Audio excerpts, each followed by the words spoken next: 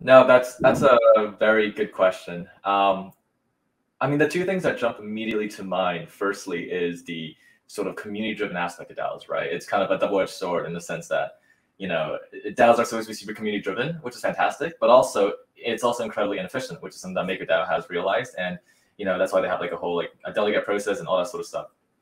Um, so I think that's something that is still like many DAOs around the world are still trying to, to solve, right? Like how do you balance the sort of decentralization aspect of it with uh, you know the, the the the efficiency, right? That a more centralized uh, um, uh, government can provide, right? I think the stat in, uh, uh, uh, in the U.S., for example, right, is that um, you know 50% of a previous president's laws get revoked when the new president comes in, right?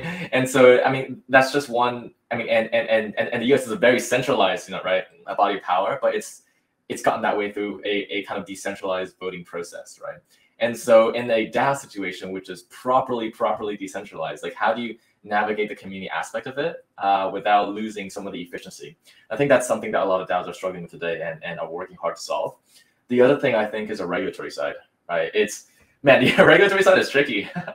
like we saw uh, uh, the recent lawsuit from the CFTC with OokiDAO, right? Um, because uh, uh, I mean, to be fair, like Ooki, like the, the CFTC sent them like a warning beforehand. OokiDAO ignored it. They rebranded, and then they got slapped with a lawsuit.